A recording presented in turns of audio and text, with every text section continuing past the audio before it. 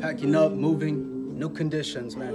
New conditions. Look, I've been doing this shit for a long time. Some of you motherfuckers have been watching me from the jump, from my very first video to where I'm at now. Some of you have been watching me every fucking step of the way. But look, save your applause, save your praise.